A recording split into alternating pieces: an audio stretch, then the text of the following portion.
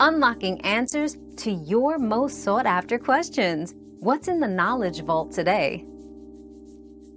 Eating dead animals found already deceased can be extremely dangerous due to the high risk of bacterial growth and toxin production, such as botulism, which occur shortly after death. These pathogens can cause severe foodborne illnesses. Animals that die of diseases also pose a risk of transmitting those diseases to humans.